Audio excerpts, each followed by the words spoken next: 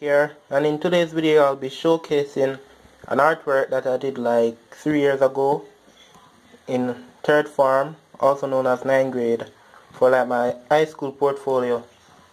Only thing is that it's not on a portfolio right now because that portfolio I destroyed so I just I cut off the drawing so I could save it because it was a drawing that I took approximately an entire weekend to do so I really wanted to keep it so yeah it's time to go through the drawing.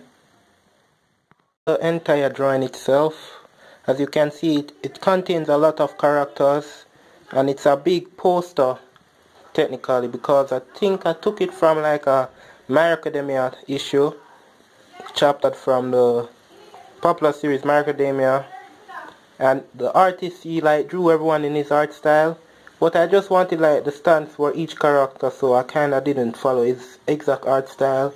Although in some cases you can see that I did. Like for instance, Naruto character right here. If you know Naruto to a certain extent you know that he doesn't look nothing like that. From his eye shape to the face structure is nothing like that. So yeah, in some cases I like followed his art style while in other cases I just did my art style. Say from Assassination Classroom. And to be honest, that's one of the first anime that I ever got emotional over because the ending was so great. Right here is the OG Naruto, my favorite anime, and also my longest anime I watched, no, I think, yeah, from age 4. This was the anime that got me into anime in the first place. Right here we have Luffy from One Piece, you know, one the most popular manga of all time. And this character I don't know about him, but I think it's from a long-running anime series, a manga series.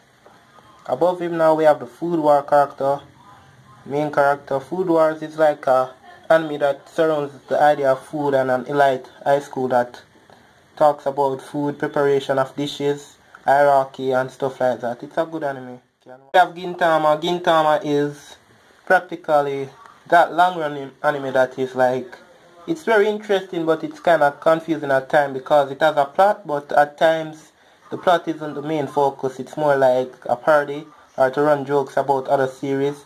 But it's one of those light-hearted series that you can watch. This right here is Toriko from the series Toriko. This is also a food anime like Food Wars, but the only difference it's a shonen as well, like action, actual shonen that they does fighting scenes and stuff like that and journeys.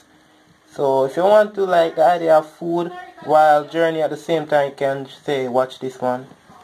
Right here is Bleach character Ichigo, the main character. And it's one of the big running animes.